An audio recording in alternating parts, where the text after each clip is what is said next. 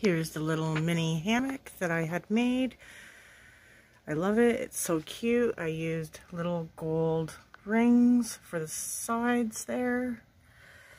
And the beads I just got from my local dollar store. I had got a great big huge pack for $5 last year and I've made many projects. But yes, I love it. It is so, so cute. I'm probably going to make more to have around. I might make one from the bathroom for my toilet paper. So there's that. Hello, my fellow Yarnians. It is June 21st, 2020, and I have a finished object. Isn't it beautiful? Oh my god, I love this pattern so much. This is a mini hammock. Um, it's made by Days Crochet here on YouTube. She has a tutorial for it. Um, other than that, I'm pretty sure she has the pattern down in her description. But yes, I had so much fun making this. I uh, The beads here are, I went to my local dollar store, and these were, dollar store, these were $4, but for this whole container, I got this last year, and I have used it for a few projects now. Actually, one's right here, the Anna, uh, Karina Anna caplet. See, I'd put some beads on there. And then on this one, I went with, um, actually, this is out of cotton. This is the Lamia Baby Cotton. And I got this in a three pack from Amazon. I think it was $13 for the three pack.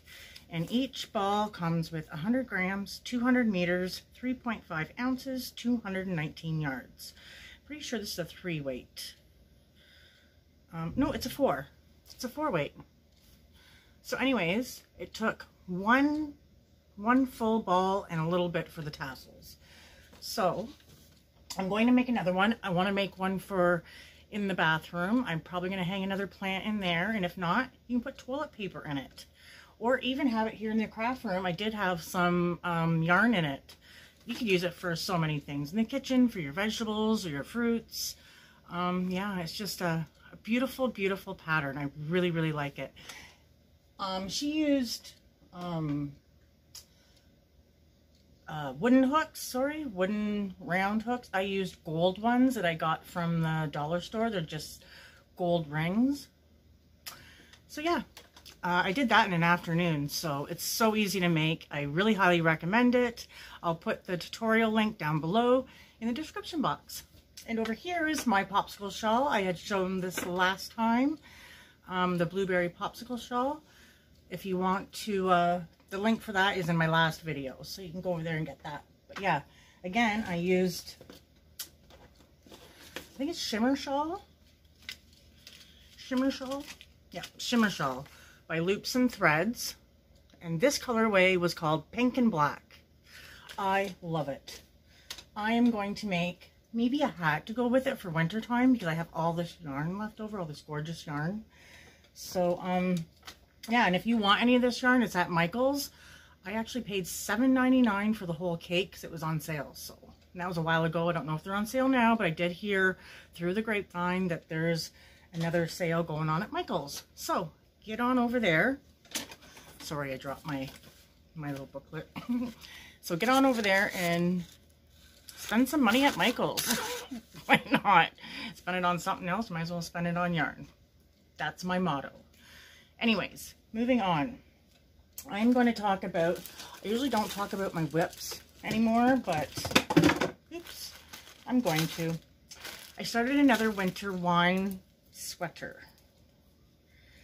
This time using, look at this color. This is going to be so. So anyways, here it is. So far, top down. I am using the Creative Grandma from Knit Crate, the one she uh, featured in, the Audine Wools. This is in the colorway Sky, and it's Audine Wools Shine Sport. 80% superwash merino, 20% tencel, um, it's a sport weight. There's 350 yards in each ball. So I had ordered five balls of this all together.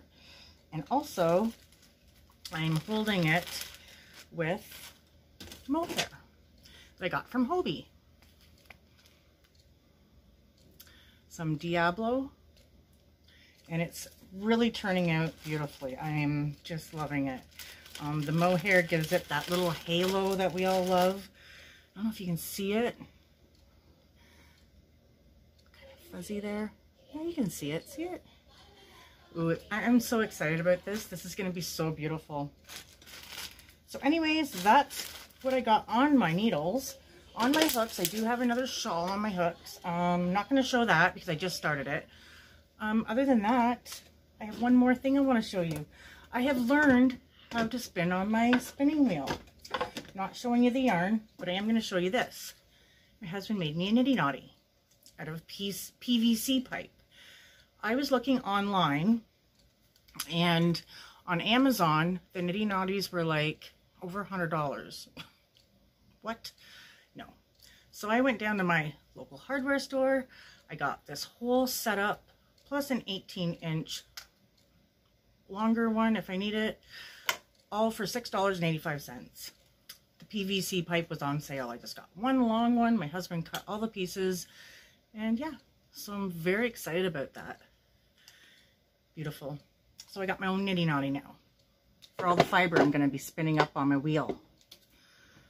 I'm having a lot of fun with that too. So there. That's all I've got for you guys today. I hope everybody's having a wonderful day. And until next time, see you then. Bye, guys.